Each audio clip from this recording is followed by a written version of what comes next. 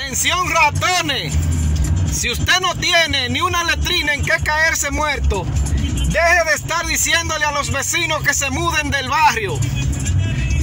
Recuerde que los ratones, aunque viajen en avión, no dejan de ser ratones. Y cuando un ratón o un grupo de ratones se meten a una casa o a un negocio, el dueño no se va a quedar de brazo cruzado.